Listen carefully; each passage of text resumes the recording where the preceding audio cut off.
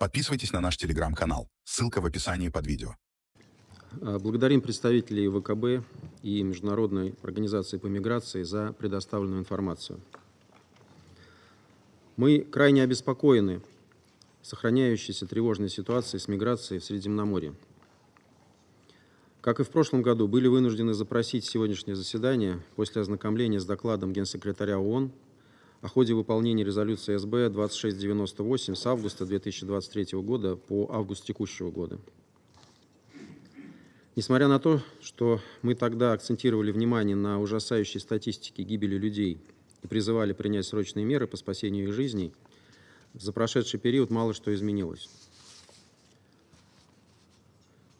Документ в очередной раз подтвердил печальный факт о том, что Средиземное море, особенно Центральный Средиземноморский путь, остается самым опасным миграционным маршрутом с наиболее высоким уровнем смертности. Эта дорога становится для многих отчаявшихся людей смертельной ловушкой. За прошедший период при попытке достигнуть берегов европейского континента погибло или пропало без вести 1920 человек. Большая часть 1302 именно на этом центральном маршруте. Восточные и западные средиземноморские пути также отмечены человеческими жертвами. Отмечаем снижение количества жертв по сравнению с прошлым годом на 42%. Однако это снижение не будет казаться столь значительным, если мы вспомним, что в прошлом году рост числа случаев гибели людей на море вырос на целых 77%.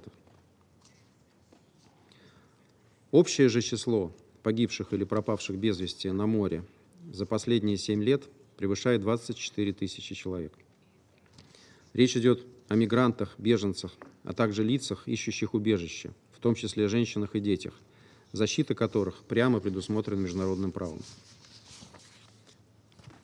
Господин председатель, очевидно, что руководство Европейского Союза спешно пытается выправить ситуацию, заключив за последний год соглашение о партнерстве по регулированию миграции с рядом стран Африки. Однако, чтобы эти меры дали хоть какой-то прикладной эффект, потребуется время. А они и так сильно запоздали. Тысячи погибших уже не вернуть. Ужасные трагедии, такие как у берегов Ливии 16 декабря 2023 года – или у печально известной Лампедузы 16 июня текущего года продолжают происходить с печальной регулярностью. Для их предотвращения необходимо в корне изменить отношение Европы к этой проблеме.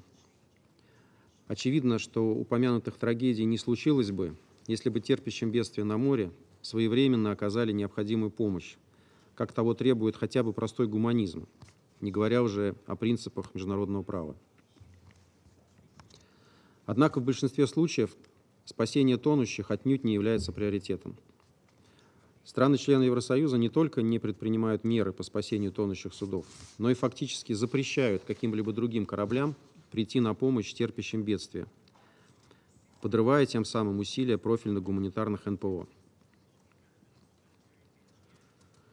Одним словом, делают все, чтобы не допустить мигрантов на свою землю, зачастую ценой их жизни. По-прежнему не проводится должного расследования случаев неоказания помощи со стороны европейских пограничных служб терпящим бедствия мигрантам, а виновные остаются безнаказанными. Постоянные рекомендации генерального секретаря назначить всем спасенным или перехваченным в море людям безопасные порты для высадки на берег, опять же согласно нормам международного морского права, а также провести расследование преступлений, совершенных против мигрантов и беженцев – Брюсселем попросту игнорируется.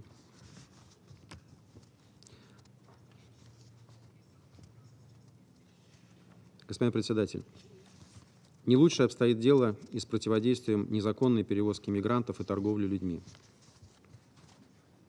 Как следует из упомянутого доклада, большинство преступников избегает арестов, в том числе используя коррупционные схемы. Эта преступная деятельность продолжает процветать. Примечательно, что в Евросоюзе всегда высокопарно высказывается за борьбу с безнаказанностью, а также сотрудничество с Международным уголовным судом.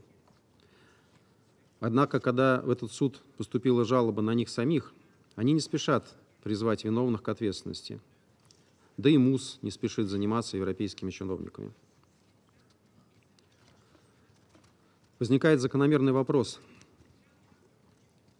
Как на фоне этого следует оценивать эффективность соответствующей военно-морской операции ЕС все эти годы? Ответ очевиден. Мандат, предусмотренный резолюцией Совета Безопасности 2240 и последующими ее итерациями, не выполняется.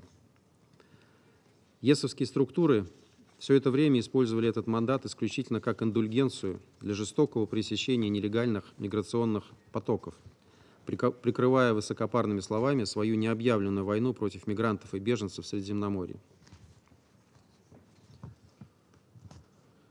Это стало настолько очевидным, что Брюссель сам отказался от идеи продления данного мандата.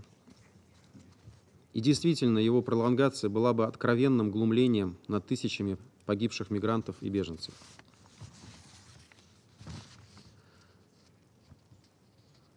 Одновременно напомним, что оказание помощи мигрантам, беженцам, соискателям убежища и лицам без гражданства – на сегодняшний день является важным компонентом усилий, направленных на поддержание мира, безопасности и стабильности.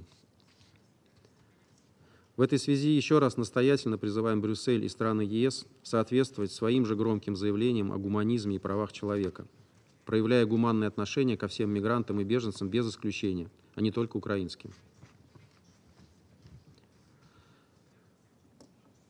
Призываем покончить с позорной практикой выталкивания судами прибрежных европейских государств лодок с мигрантами за пределы своей юрисдикции, что обрекает людей на мучительную гибель. Следует прекратить и преследование гуманитарных и неправительственных организаций, оказывающих помощь всем этим людям.